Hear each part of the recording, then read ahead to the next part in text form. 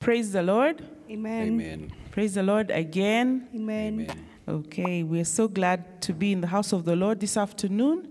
Um, ideally, it should be all youth up here, but maybe I'm young at heart, right? Me and Jeremy both. Amen. So, all right, so let's start. Um, to start us off, this is my brother Regan, my sister Beryl, and Jeremy and the, and the keyboard, and my name is Rita. We'll probably ask you to rise up so we can have a, um, a short prayer to start us off. Let's pray. Our dear, kind, and loving Father in heaven, we thank you for giving us life throughout this day. We thank you for bringing us into your sanctuary, Lord, so we can um, hear your word. And even as we start off this moment of worship, we invite your presence that you may inhabit in our praises and take us through to the end for the glory and honor of your name. In Jesus' name we pray. Amen. All right, we'll kick off our song service with 610. Stand like the brave. 610.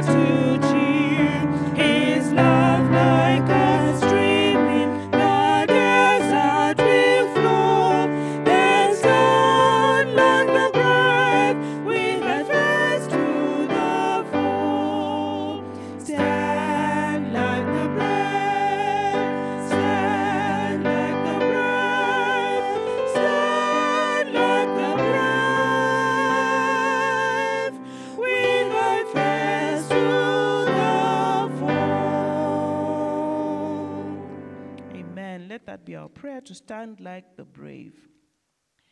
Let's sing 596. Look for the waymarks.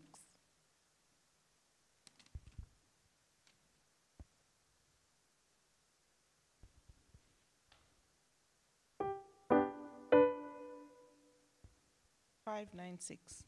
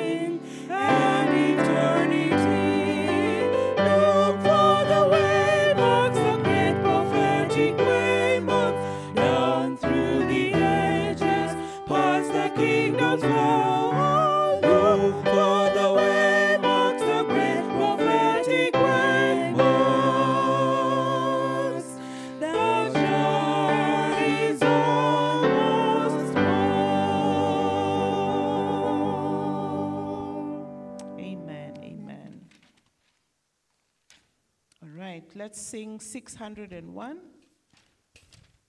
Watchman on the Wall.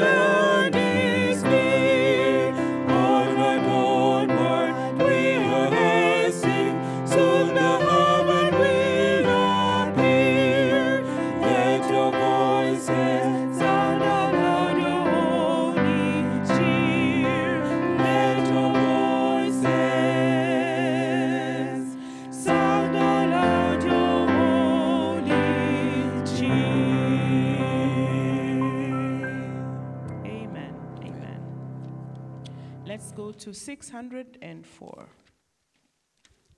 604. We know not the hour.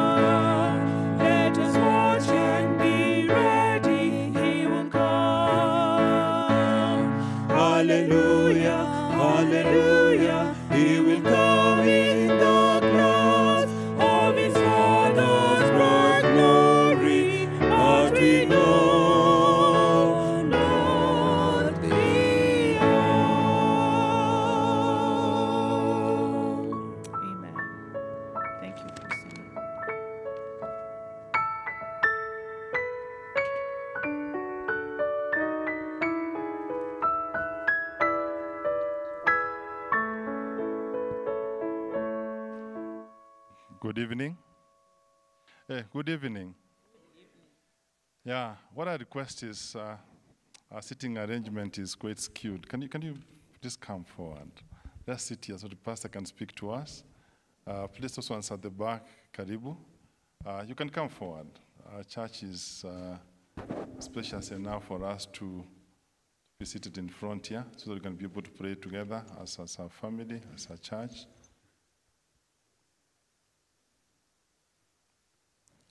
Karibu sana. Thank you. Thank you for uh, agreeing to be obedient and moving forward. Thank you.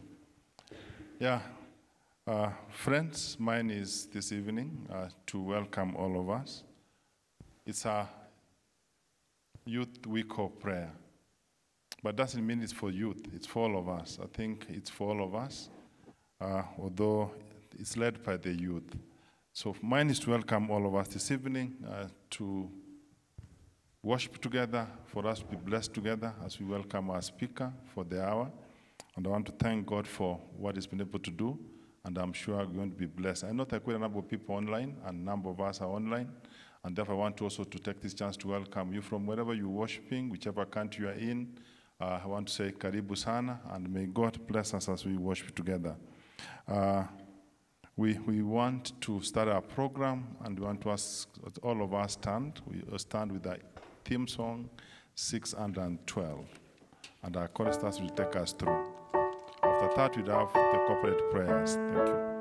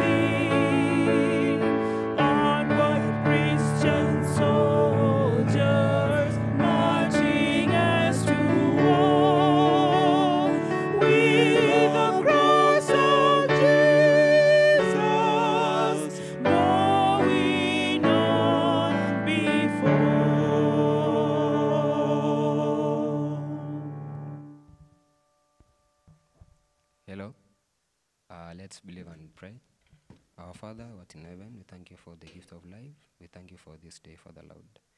Father Lord, we have started a week of youth of prayer. Father Lord, we pray that you be with us, you guide us. We pray that you bless our pastor. As he speaks to us, let us listen, Father Lord, and take the words into con- con- consideration, Father Lord. I pray trusting and believing in the name of Jesus Christ, I pray. Amen. Our dear and everlasting Master in heaven, in addition to the prayers that have been offered, we come before your presence at this time, Lord. We thank you for the gift of life. We thank you, Lord, for your love and your care that you've uh, bestowed upon us.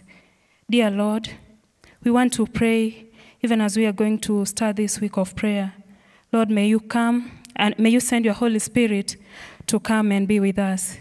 How we pray that, Lord, you may help us and may you answer the, the prayers of your children that they are going to offer during this week.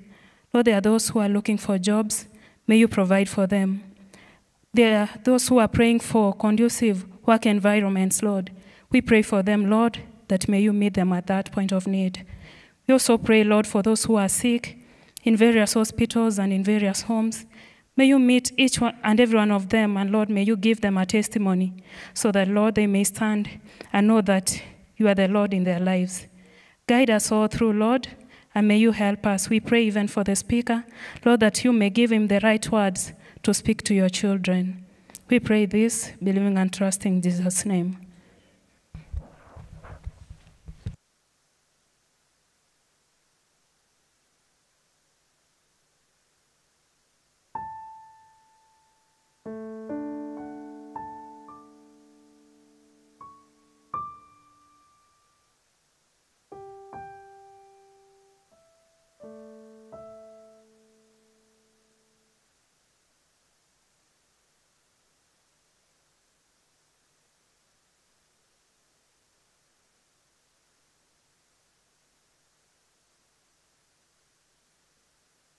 Chapter 3.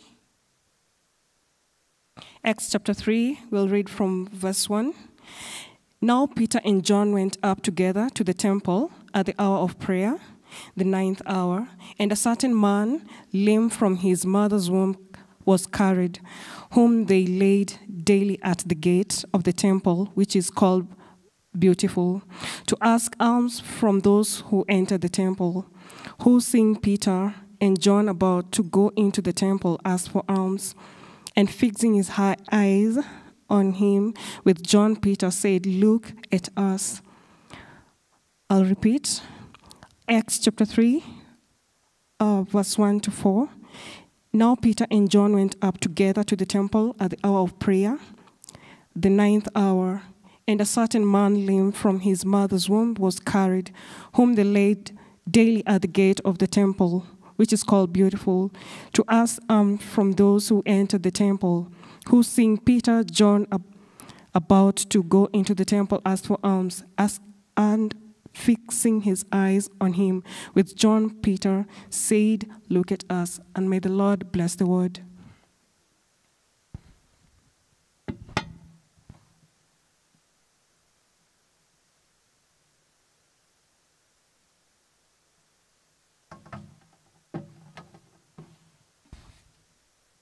Good evening, church.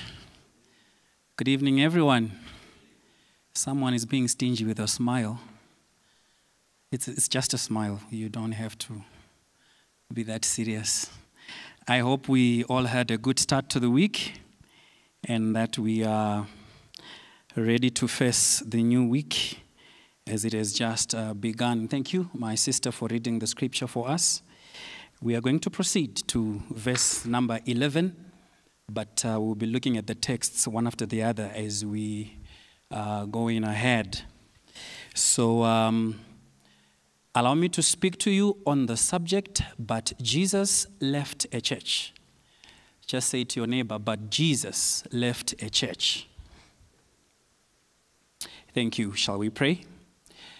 Heavenly Father, we are here that you may speak to us we pray for the presence of the Holy Spirit and that He may drive your word into our hearts. Christianity is very practical. and you expect us to do what we learn from your word. Give us the power to do it. In Jesus' name, amen. Okay, so we just read from um, Acts chapter 3. It's a very common passage. Why do we read the book of Acts? These few reasons, plus many others that you may have. What became of Jesus' followers? What then happened to them? If you want to find out, you read the book of Acts. What about the cause that Jesus initiated? What happened to it? Because we know that uh, before he began his ministry, he called the 12. What happened to that initiative? We also want to find out what was the power behind the acts of the apostles. What is the driving influence that pushed them to do the great works that they did? So, reading from uh, the book of Acts, chapter 3, we are told that Peter and John went up together into the temple at the hour of prayer, being the ninth hour. That's about 3 p.m. in the afternoon. And then we see another character in verse number 2 being introduced. And he is referred to as a certain man who was lame from his mother's womb. That is how he is identified. We are not told his name, but he is referred to as a certain man who was born lame. He came out of his mother's womb like that. Nothing happened to him after he had been born, but that's how he came into the world. And as I was reading this, I just thought to myself, okay, fine, this is Luke who is writing. He was a doctor. Maybe he paid attention to these little details. He was interested in how the anatomy of the person he's talking about was arranged. So he quickly picked that. But on the other end, I thought to myself, it could be a problem that we have in the church that we do not identify each other by who we are, but we identify each other by what we are. We, we, we don't identify each other by who we are, by our names, but we identify each other by our circumstances. The divorced one, the unmarried one, the single mother, the jobless one. But when you read the Bible and you learn from Christ Himself, I pray that our churches may be filled with the mind of Christ. What is the mind of Christ? John chapter 20, Jesus is resurrected, and Mary Magdalene is at the tomb. She's trying to find out where her Savior is. And Jesus speaks to her from behind and he calls her by name. But Mary, the Bible says, Mary thought the man talking to her was a gardener.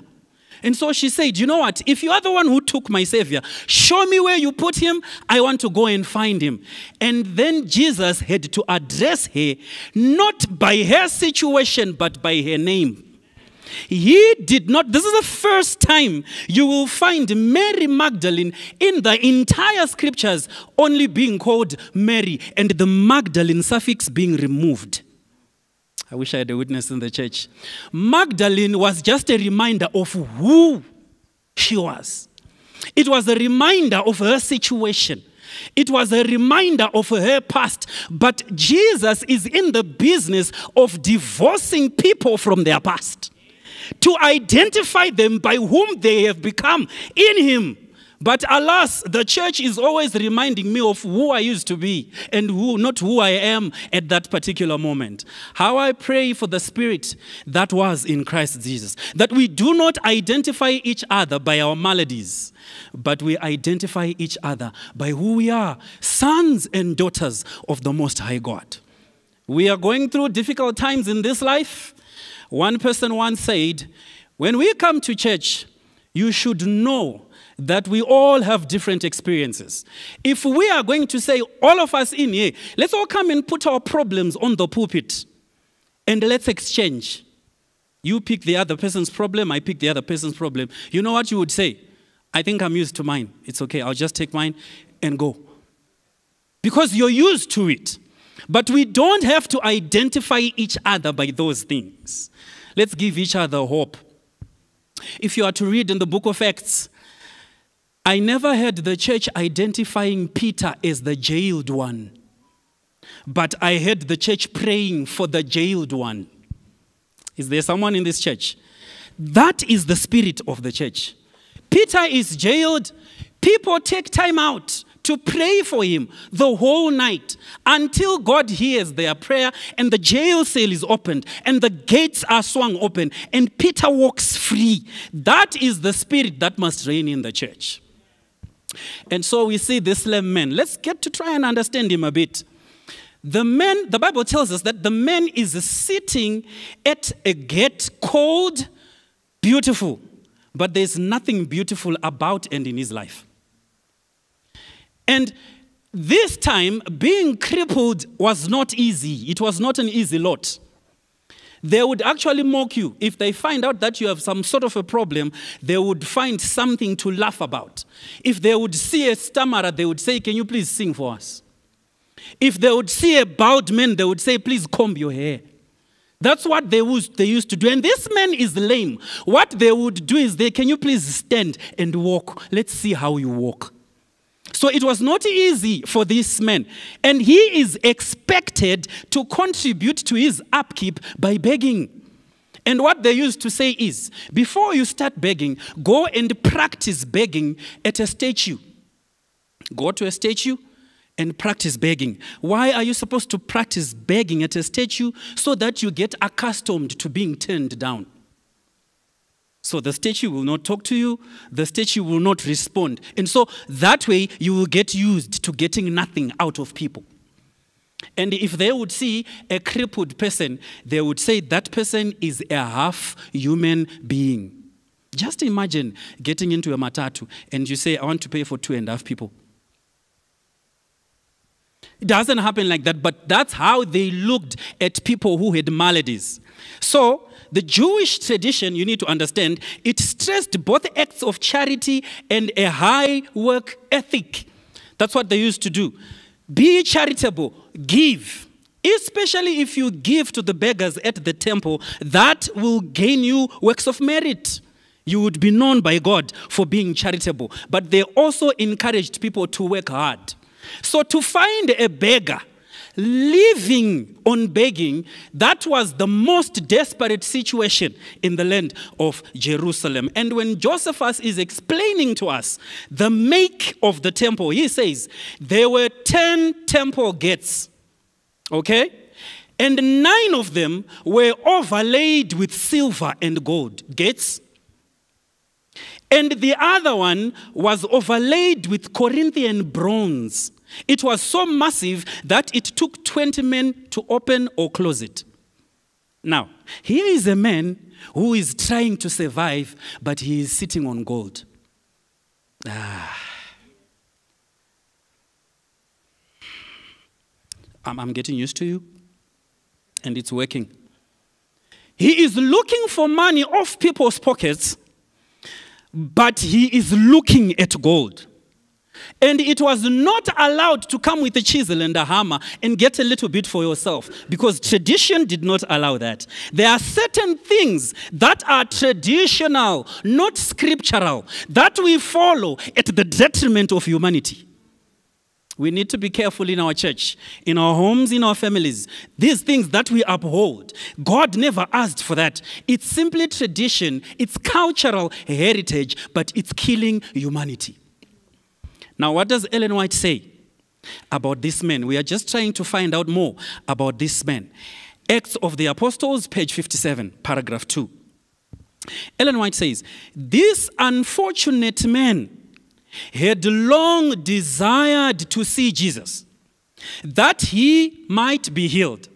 But he was far removed from the scene of the great physician's labors. His pleadings at last induced some of his friends to carry him to the gates of the temple.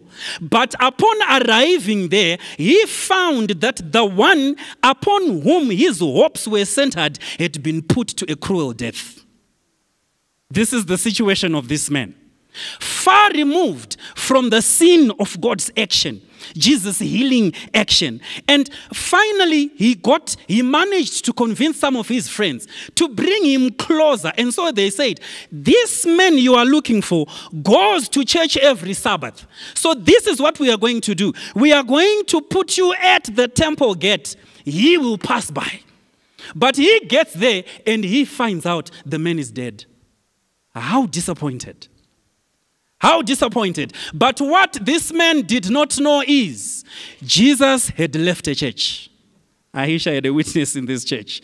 Jesus had left a church in position to deal with these issues. So I picture this man. He, he had not come to the temple gate to beg. No, he had come for healing. But the fact that he is now begging, he is being told by the people who are taking care of him that we cannot sustain you. Do something for your own survival. And so each and every day, they carried him to this gate, disappointed and shattered, crushed to the bone. He is disappointed and hurt, but he has to take care of himself. But Jesus had left a church. Jesus had left the church. And so we read in Mark chapter 3, verse 13 and 14, that soon after Jesus came down from the all night prayer he had on the mountain, he started calling disciples one by one, preparing his church he called Simon and Andrew, preparing his church. He called James and John, preparing his church. Matthew on the other side, till they were all 12. And Jesus had his church in place. And in Mark chapter 3, verse 13 and 14, we learn that he ordained them. So he organized a church of 12 members. But the man at the temple does not know that Jesus has left a church.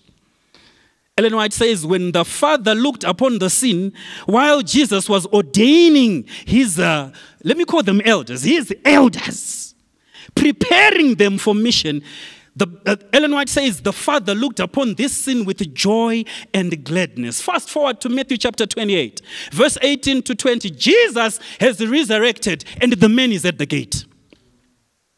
If you read your New Testament properly, you will learn that Jesus went to heaven, came back and spent 40 days teaching and training his disciples for mission, but he never attended to the needs of his men. He didn't. Why? He had left a church. And so he goes to heaven. He goes to then come back again later for the second time. But then what happens in Acts chapter 2? God pours the Spirit preparing the church for mission. And when the Holy Spirit had been poured, we encounter Acts chapter 3. And what do we see there? Uh, Peter and John, they go to the temple. And when they get to the gate called Beautiful, there is a man there for whom Jesus had left a church. A man who is disappointed, he is probably thinking, okay, so this is going to be my life until I die. But no, it's not going to be his life until he dies. What is the reason Jesus left the church? And so, two members of that church look on this man. And as they look at this man, the Bible says Peter fastened his eyes upon him. And he said, Look at us, plural. And then he said, Silver and gold have I Look at us. Silver and gold I. Follow me closely. Look at us. So he looked both at John and Peter. But when it was coming to the issue of praying for this man, there was no need for mob psychology. There, Peter had to stand for himself and say, I don't have. Do you remember when Jesus asked the people and he said, What do people say that I am? And then people said, Some say you're Moses, some say you're Elijah, some say this, some say that. And then there came a time when Jesus had to be personal to the disciples. And so Jesus said, What do you say that I am? These issues of getting saved and going to heaven, it's an I issue. Letting sin go is an I issue. Taking care of your family is an I issue. Even if you work with people who teach you not to, taking care of your family, working for your family, being faithful in your singleness or in your marriedness, it's an I issue. Because it's your own relationship with your own Savior. And so they say, Silver and gold have I none, but such as I have, I give thee. In the name of Jesus Christ of Nazareth, rise up and walk. The man is now receiving from the church what he wanted to receive from Christ. Do I have a witness in the church? So, whether Jesus is there or he's not, the church is there to do what Jesus would have done, would he be here? This is the reason why we exist as Lavington. To do what Jesus would have done to that orphan if he were here. This is the reason why we exist as a, as a Dorcas Ministries. To do to that widow what Christ would have done, would he be here? And so, Jesus, when the book of Luke begins, it says, Jesus continues the work he began in his earthly ministry through the church. The book of Luke is all about, it's the book of Luke says, all that Jesus began to do and to teach. And then Acts is about what Jesus continued to do through the church. Are we together? Jesus is still in action. He remains active, but he works through the agent that he chose, and that agent is the church. And I wish to say, I wish there was an orphan listening to me. I would be telling them, but Jesus left a church at Lavington. Uh, a widow who's struggling to feed her children, I would wish them to hear that Jesus left a church at Lavington. The reason why we exist as a church is to always show up in the cities. This is where we are. We are not here because it's a mistake, not because this is where we were given land by the council. I don't know who gives land here.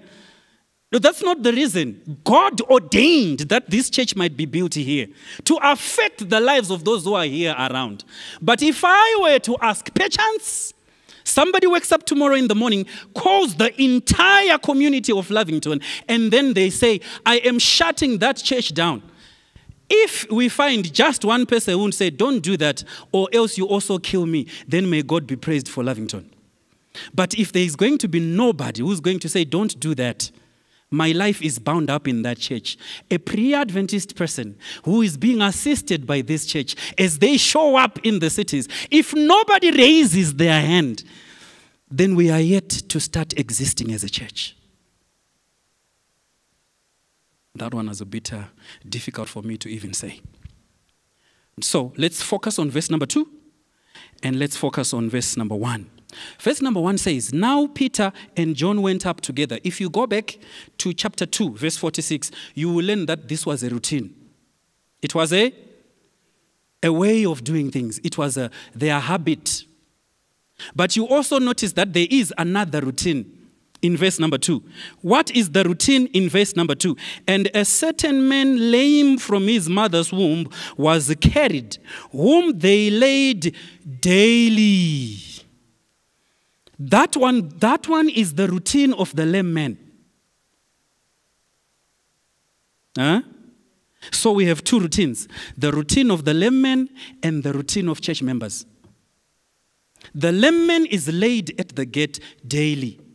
Let's follow the routine of the apostles. It goes way back into the Old Testament. Numbers chapter 28, verse 1 to 8. You may read that.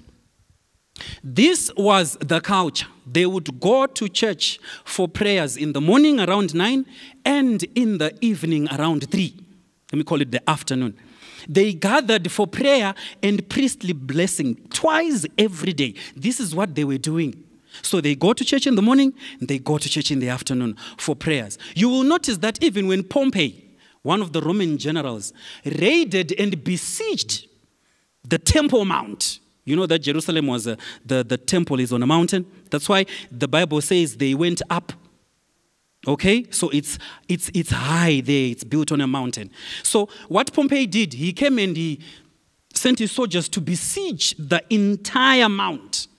But even if they were under besiege, They never stopped going to church in the morning and in the evening. This is how important this ritual was.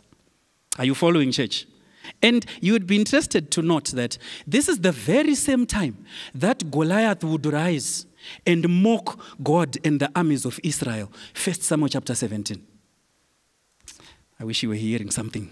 1 Samuel chapter 17, Goliath rises in the morning and he calls out to the Israelites and he says, Is there anyone among you who is brave enough to fight me? Nobody goes. And then around three in the afternoon, is there anyone among you ready to fight with me? Nobody goes. So, what Goliath was doing, he was disturbing the prayer time of the Israelites. Ah. And so, what he managed to do was to disconnect Israel from their power. And when he succeeded that, the trained soldiers of Israel ran from Goliath twice a day for 40 days. I want to tell you this as this week begins. If the devil manages to make you disconnect yourself from your source of power, you are done. Problems are meant to push you to pray, not to take you away from prayer. If you allow your problems to take you away from prayer, you would rather go into prayer with no words but your heart and your tears than to go into prayer with no heart but just words. I believe God hears. You kneel down, you say nothing, you cry, you rise. You have spoken to your God. I've heard a musician say, Tears are a language that God understands. And so, Goliath made sure that he disturbed the prayer time of the Israelites.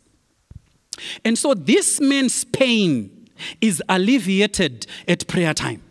The church that Jesus had left does exactly what Christ would have done would he be with them physically. But Jesus left a church. So, where is the church today? The hungry all around us. Where is the church today? The homeless all around us. Where is the church today? The, those who can't afford to, to send themselves to school. Where is the church?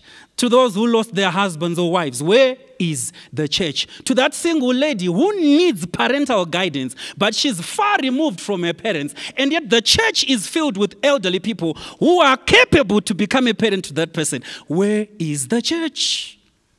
Where is the church? So if you read, uh, should be Luke chapter 10, you will learn about this man upon whom thieves fell as he was, was on his way from Jerusalem to Jericho. Somebody commented and said, There are two things that are mentioned in that parable. The first one comes and he passes by. And the second one comes and he passes by. And I pray that Lavington Church is not filled with passers by. People who see problems in the community and they pass by. That's not what Jesus would do. Jesus left a church so that the church can take care of the problems that they come across. So, a certain historian tells us of a story that the Greeks would do. They would race using their boats, using their, uh, their, yeah, their cruising boats, the big ones, those ships. So the boat that would come back after circling for days, go for days, and then you come back, you report that you have arrived to that end, and then you come back. When you are the first to come, your boat would be labeled Antipathathen. And for the whole year, your boat will carry that label. And that would gain you prestige among your fellows. Antipathathen. You were the first to come back. Where is the church that Jesus has left? They are busy chasing Antipathathens. The first to drive a cruiser. The first to own such a house. The first to own a flat in Nairobi. The first to have so many degrees or so many academic accolades. The first. We are chasing prestige and recognition at the expense of the mission that Jesus put this church for. Yeah. But I understand this is not good to hear. Jesus has rich friends. Do you know that? He had rich friends. He still has them. But you don't amass wealth at the expense of mission or your holiness. No, you don't. Let me ask you a question. What would you want on your dying day? What would you want between these two?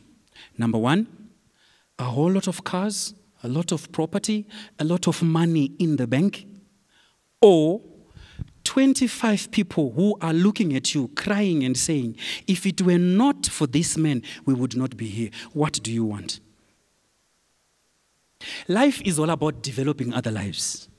I want you to go to on YouTube today. Maybe some of you people have seen that. And look for a man called Charles Winton. Charles Winton. And just, just listen. Some videos are there, 15 minutes long. Some are there, an hour long. But you can choose the 15 minute one to save your time. Charles Winton. W I N T O N. And you will learn what it means to be alive. In as much as we can gather all these things, if we are not developing other lives, then we are not doing the reason why Jesus left a church. Where is the church today? Counsels on Stewardship, page 36, paragraph 1. Where there is life in the church, there is increase and growth. There is also a constant interchange. I want you to listen to this. A constant interchange. Taking and giving and returning to the Lord. That's what life in the church is. Ellen White continues and she says, As he gives of that which he receives, his capacity for receiving is increased. Stewardship in simple terms. The church is supposed to be made up of people who receive from God and return to him. And as they receive from God and continue giving, their capacity for receiving more is increased. Ah. I like this quotation in Testimonies, Volume 4. Ellen White says, God does not want you to die. He wants you to go to heaven. So, what he does is, I'm paraphrasing, if he gives you $100, how much is your tithe? 10, and whatever amount your offering is, okay? If you return $5, is tithe when you received a hundred, you are telling God that a hundred is too much for me. Give me 50.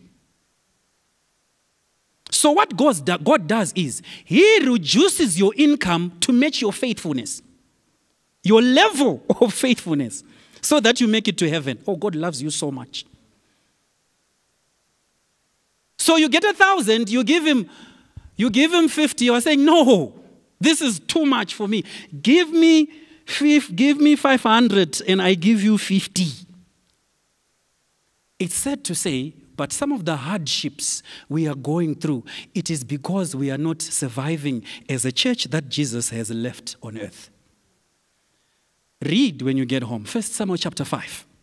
You will learn that wherever the holy thing of God goes, there, swift and unerring, the judgments of God will follow. The Philistines took the ark and they thought they had won. But what happened was their God of stone was decapitated by the four angels that guarded the ark. Thrown down, hands out, head off. And wherever, in the five principal cities of the Philistines, wherever the ark went, men died. Men had diseases, men had boils, until they said, Let's take this ark and send it back. And that's when disease stopped. Some of these deaths, some of these illnesses, some of this joblessness, some of these problems that we're encountering, it is just God following His holy things. Are we together, church? Now listen to this. On this giving and receiving depend the life of the church. He who receives but never gives soon ceases to receive. You receive, you don't give. So you're also going to cease to. Who has ever continued running water on a full bucket? Who has ever done that? Man, we see you doing that, we will send you for psychotherapy. Because when the bucket is full, you close the tap. Do you know another uh, the synonym for the word stewardship is the word dispenser? We all know a water dispenser? Yeah. When you are thirsty, You go to the water dispenser, you just press. It doesn't ask you, who are you? Wh- Where are you coming from? It just gives you the water you want, warm or cold. That's being a steward. When people come asking, you give. Because you've been given to dispense. And when the dispenser is empty, it looks up to get filled again. And when it's full, it looks down. That is the life of. But the problem is, Lavington church members, some of them have the audacity to divorce that which God said must not be divorced. In the book of Malachi, there are two things that must not be divorced. Number one, husband and wife. Number two, tithes and offerings. We see your tithes envelopes. Where are the offerings? Because through the offerings, we can feed the hungry. Through the offerings, we can build orphanages. Through the offerings, we can clothe the naked. Through the offerings, we can do that which Christ would have done, would he be here. Are we together, church? Where is the church that Jesus left? It's hooked on social media and entertainment. People can afford to watch a drama the whole night. These things called series. Guys, please pray. You sit on your couch at 8. You rise tomorrow morning when you are preparing to go to work. You don't even notice. That's the power of entertainment. Somebody can afford to give her television, his television, five hours, but they cannot afford to study the Bible with the neighbor for 40 minutes. Where is the church that Jesus left? Where is the church? Jesus had left it. There is someone who is going through a routine of going to a church led by a false prophet, eating grass, lying on the ground, and the prophet stepping on their backs. And they go there every Sunday, but their neighbor is an Adventist who has a whole list of verses on how to identify a true prophet from the false. But they don't have time for that. They have time for Jack Bauer. They have time for Zee World. They even know how to, to curse using that kind of a Nigerian, um, I don't know what you call it. In Zimbabwe, we just say, but after watching Nigeria, we say, mm, and it's so long. And now everything you do is just drama. You dress TV, you eat TV, you walk TV. Everything about you is a photocopy. You're no longer yourself. Are we together, church? Yeah, some smiles are disappearing. But we are wasting time on what's not important. And yet the song says, rescue the perishing. If Peter and John had not done what Christ expected them to do at the gate called Beautiful, we would have never read about this man. But his disappointment was turned into joy. His mourning was turned into dancing. His sorrow was turned into happiness. Why? Because the church that Jesus had left did what it was supposed to do. Is the church doing what it's supposed to do? We must show up in the cities. Let me give you a benefit of working for God. Acts of the Apostles, page 105. Strength to resist evil is best gained in aggressive service for God. Were you looking for some, some power to overcome sin? You're looking for some power to drop the other girl and remain with one. Serve God. Serve God. Get into mission. Spare some time during the week, no matter how busy you are. Just say once every week, for 40 minutes, I am doing a Bible study with that person. And you will see yourself overcoming sin because the strength to resist evil is best gained in aggressive service. So if you have no you had no other reason for preaching and witnessing, I've given you one. If you want to overcome sin, then serve God. Serve God. The importance of presence. So Ellen White says in the book called Signs of the Times, yet there will be no one in heaven saved with a starless crown. Nah? We're going to get crowns in heaven. If it is no star, then you are not there.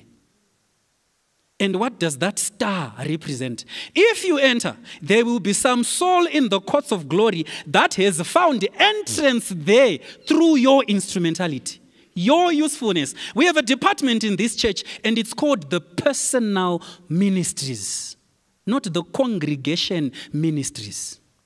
It's personal.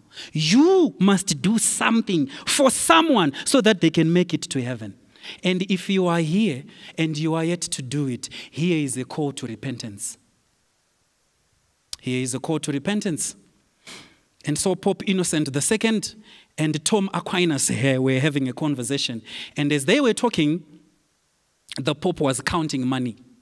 And so the Pope says to Thomas, You see, Thomas, the church can no longer say, Silver and gold have I none, because the church now has money. And then Thomas Aquinas said, True, Holy Father, neither can it say, Rise up and walk. Ah. There is nothing wrong with looking for money, but spare some time to do what you were called for. You are first an evangelist before an engineer. You are first an evangelist before you are a doctor.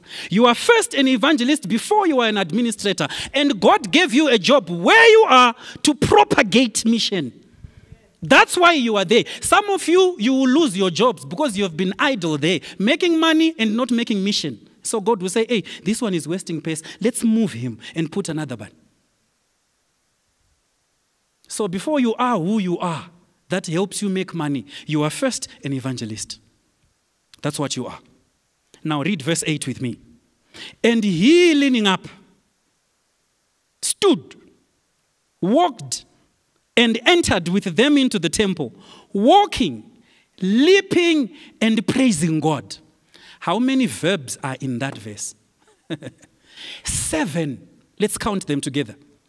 Leaping up, stood, walked, entered, walking, leaping, and praising.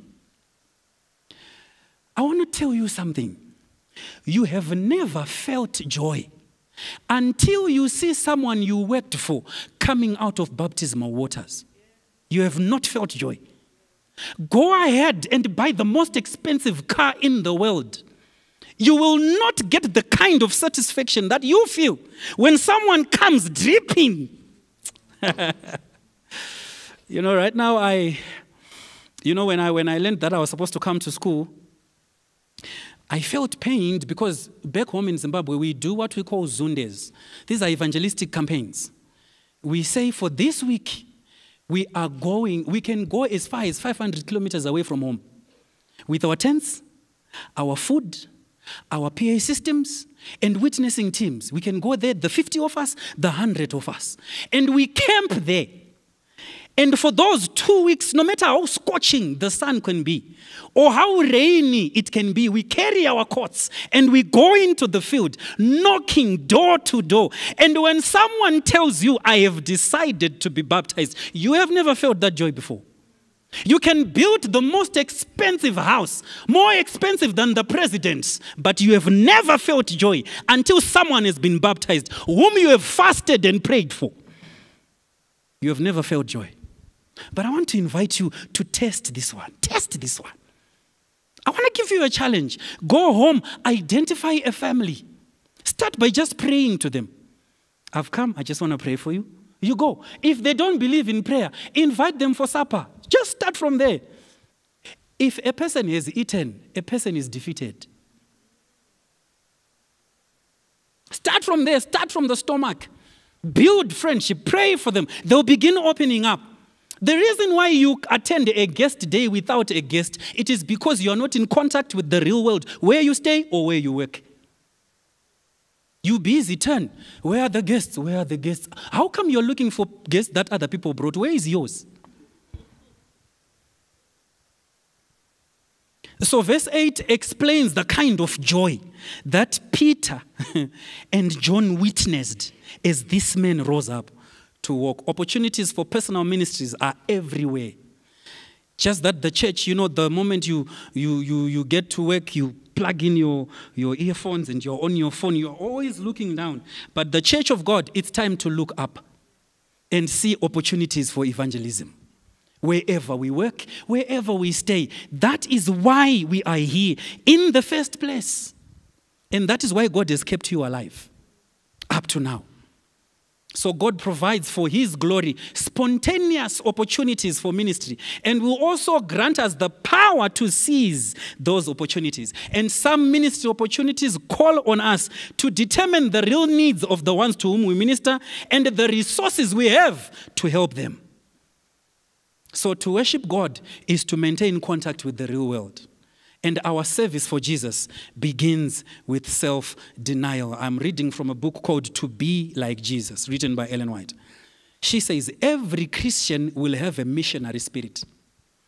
To bear fruit is to work as Christ worked, to love souls as he has loved us. Listen to this part. The very first impulse of the renewed heart is to bring others also to the Savior. Let me put you in a classroom for a moment. When you're studying the Bible, which we call the binary law of opposition or the law of binary opposition. What that means is if I see two people walking up to me and then I say, the person on the left is looking smart, I have said something about the person on the right without saying anything. The law of binary opposition. The person on the left is looking smart. I have also said, in that very instance, I have said the person on the right is not looking smart. Why isolate one if both are looking smart? Did you get this one? The house on the right is painted well. How about the one on the left? It's not. And the Bible is saying the very first impulse of a renewed heart is to bring others to the Savior. So, what is the kind of a heart that doesn't bring others to the Savior? It's not yet renewed. So, before we even talk about um, anything, the big question is do we carry renewed hearts? If we did, then nobody would stand here preaching, encouraging us to go and do witnessing and evangelism. No one. Just as soon as a person is converted to the truth, he or she feels an earnest desire that those in darkness should see the precious light shining from God's word. So Neil Armstrong says, It's one small step for men, but a giant leap for mankind. Do one thing where you are right where you are. You know, I know with these churches in the city and people are busy, but I was challenged one evangelistic campaign, the kind I told you about. They came to my district from a far city. They came to my district where I used to work before I got moved to where I am. And as I was doing an analysis of the people who had come, they were doctors. No, you're not hearing me. They were doctors. They had come to camp for two weeks, turned their backs on needles, and uh, they were teachers, business owners, accountants, professional people. And so I sat them down and I asked, You people are busy. How come you came here? How did you? How did you? And they said, We know that when the year begins, the conference is going to tell us that from August 10 to August 24, there is going to be an evangelistic campaign. So before we apply for our leave days, we first check what the itinerary of the church says. and so when we are applying for our leave days, we make sure that our leave days coincide with the campaign so that we remain with no excuse for not going. The honest truth is, if you excuse yourself from getting involved in mission, you are simply hiding behind your finger. You have no excuse. That's why the Englishman said, Where there is a will, there is a way. It just doesn't work in making money, it also works in evangelism. Do you want to do it? I'm talking about the person you spend the whole day with at work, at school, or at home, chatting, and that person is your target market. You have been put there for that person. Maybe some of us are tenants here. We are not homeowners yet. I didn't say we are not homeowners. I said we are not homeowners yet. It's not because that's where you found a flat to occupy. No, that's where God directed you. Do you hear me? He has a reason why He put you there. If there is anything you can do for yourself, it's to fulfill the reason why you are where you are. There is a purpose. So there is a difference between saying show up in the cities and showing up in the cities. Is there a difference? Huh? Show up in the cities or showing up in the cities? The best thing that the church can do, I'm about to pray now. The best thing that the church can do is to organize a program for people. But it needs members who don't wait for programs, who are involved in evangelism as a lifestyle. They are involved in giving as a lifestyle. They visit the orphanages as a lifestyle. Do we have people in the church? So the challenge with God is He has members who are program oriented. They will not go out for witnessing until it's time for a crusade. They will not go to, a, to an orphanage until the church says, We are going on the 22nd of April. They don't. They wait for the program. But it is high time we change our mindset. Let's do these things every day. As long as the Lord provides, let's do what the Lord expects of us. So I shared two routines with you. I'm sharing these with you now as we pray. You come to church every Sabbath. That's your routine. There is an orphan who goes out every day hunting for food. That's their routine. You meet for midweek prayers. That's your routine. There is a widow at some corner crying her heart out because the child has told her, Mama, I'm hungry, and she has no idea how she's going to take that hunger away. That's a routine. There is another one who has a routine, getting confused when standing in front of her walk in closet. She doesn't know which dress to use. She has to make sure that for the past 30 days, I've never used these. And so she, she gets confused. The reason why some people come to church late, it is not, not because they woke up late. They, they come late because the closet took their time. I put this one, I put it down. I put this one on. You know what that means? You have a lot of them. Give. Uh-huh. I said give. You know, when you have one dress, you don't think, which one, what do I wear? You just wash it, you iron it, you get into it, you come to church. Did the pastor say remain with one dress? No.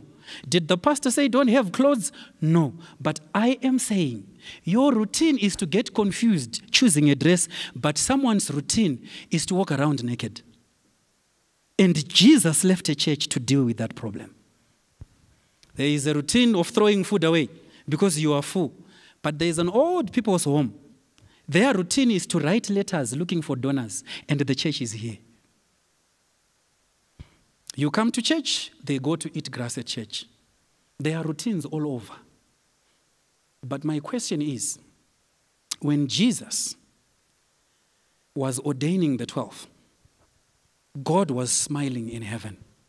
My question is when we walk through the gates and the doors of Lavington Church, is God smiling? Or his heart is elsewhere, but his people are in here. So there's a difference between showing up in the cities and just show up in the cities. Showing up is called the present participle. Showing, it's present and continuous.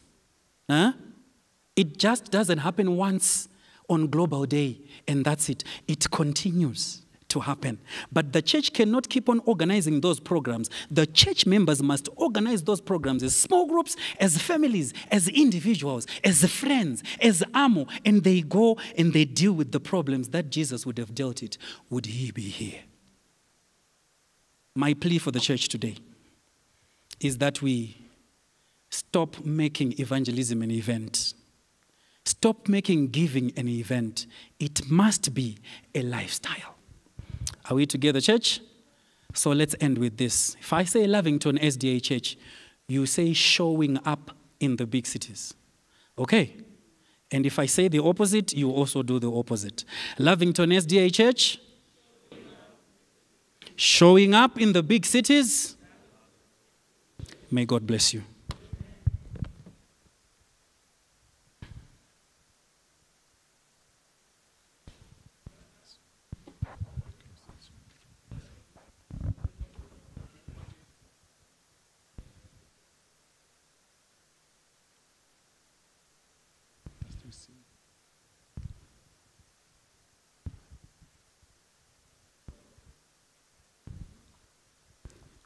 We'd like to invite the choristers for the closing song, 612.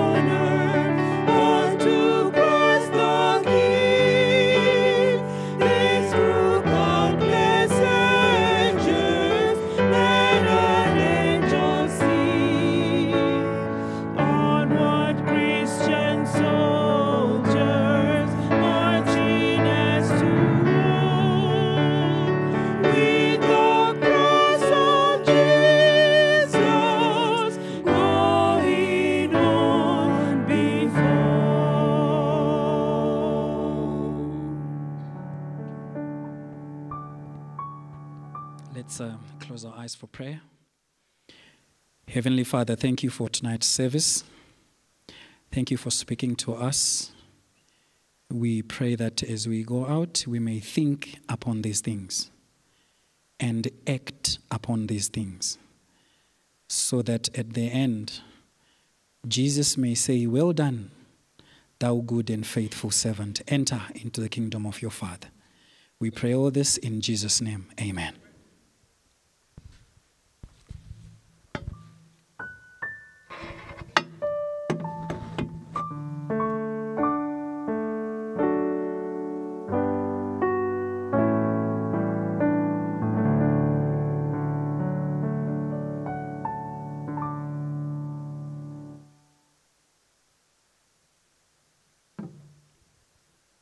Good evening.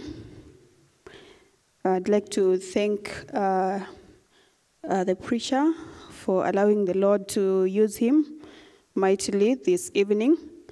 And uh, I'd like to also thank you all for coming, for showing up.